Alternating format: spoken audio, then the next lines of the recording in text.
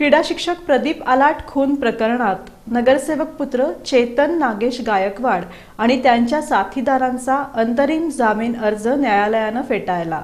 पुण्यश्लोक अहिल्यादेवी होळकर सोलापूर विद्यापीठातील क्रीडा शिक्षक प्रदीप आलाट यांच्या खून प्रकरणी नगरसेवक पुत्र चेतन नागेश गायकवाड आणि त्यांच्या आठ साथीदारांविरुद्ध गुन्हा दाखल करण्यात आला होता. दरम्यान चेतन गायकवाड आणि साथीदार आतिश गायकवाड यांनी अंतरिम जामिनासाठी न्यायालयात अर्ज दाखल केला होता.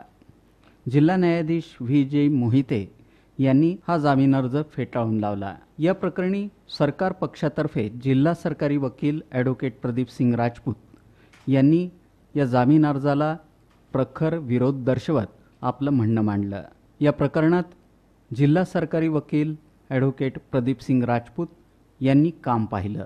तर आरोपींच्या वतीनं ॲडव्होकेट राम कदम यांनी काम पाहिलं. मान्य न्यायालयामध्ये जामिनाचा अर्ज दाखल केला आणि त्या आधारे त्यांना जामीन देण्यात यावा असा युक्तिवाद त्यांच्या वतीने करण्यात आला.